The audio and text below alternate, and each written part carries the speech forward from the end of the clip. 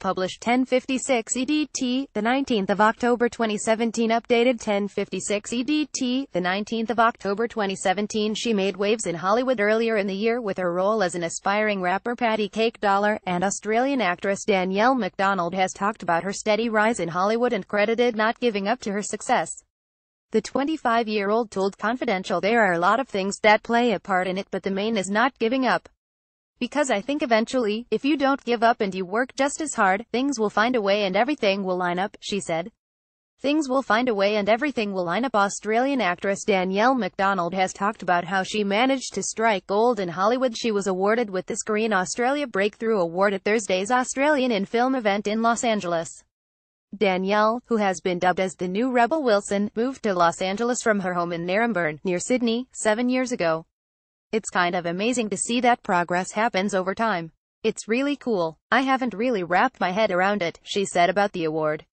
Rising star the 25-year-old said, There are a lot of things that play a part in it but the main is not giving up.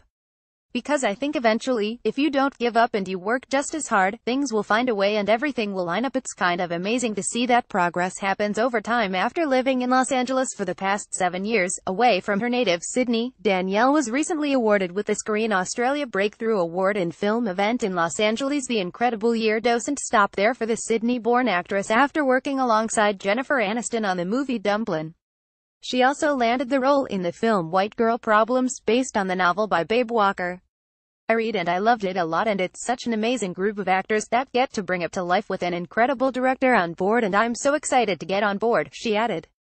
Set to be produced by actress Elizabeth Banks and Max Handelman, the film follows a woman who is constantly striving for material perfection and finds herself in shopping rehab's plum role set to be produced by actress Elizabeth Banks and Max Handelman. The film follows a woman who is constantly striving for material perfection and finds herself in shopping rehab. She told the publication back in June that she had never acted in her home country something that she would dearly love to change.